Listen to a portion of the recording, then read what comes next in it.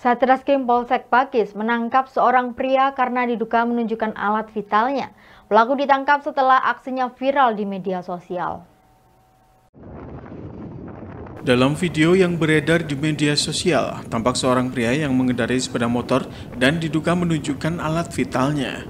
Mendapati video yang menghebohkan tersebut, anggota Polsek Pakis langsung bergerak mencari pelaku.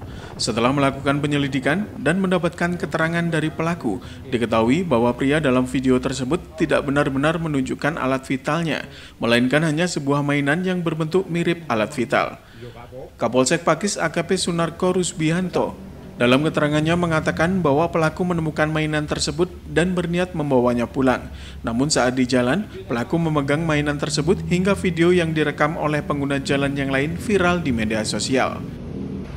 Dengan adanya kejadian yang viral di medsos kemarin, yaitu orang yang melihatkan alat kemaluannya, kemudian uh, setelah itu kami untuk melakukan penyelidikan kepada atau lidik uh, kepada orang yang bersangkutan.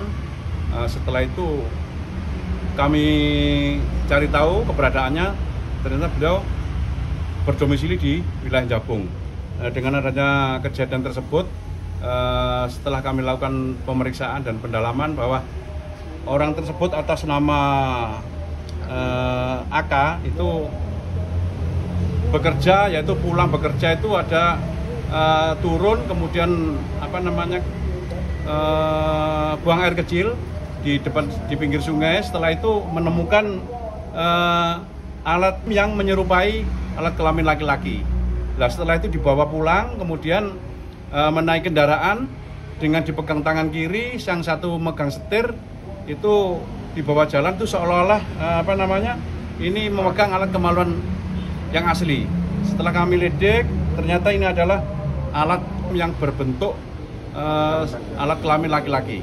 Sudah dilakukan pemeriksaan terhadap uh, saksi maupun yang bersangkutan, sementara masih belum ada indikasi untuk apa namanya surat unsur pidananya.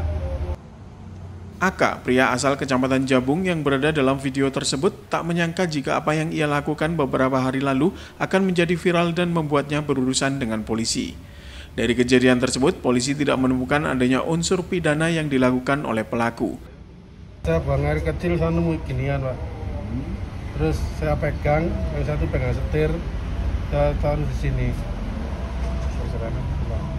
Itu mau dibawa ke mana? Itu ke bawah pulang, Pak. Memang uh, men, apa itu nemu ya Mas ya? Menemukan iya, ya, nemu, bukan Pak. beli dari dari Tidak, nemu, Pak. Simon Alfredo melaporkan.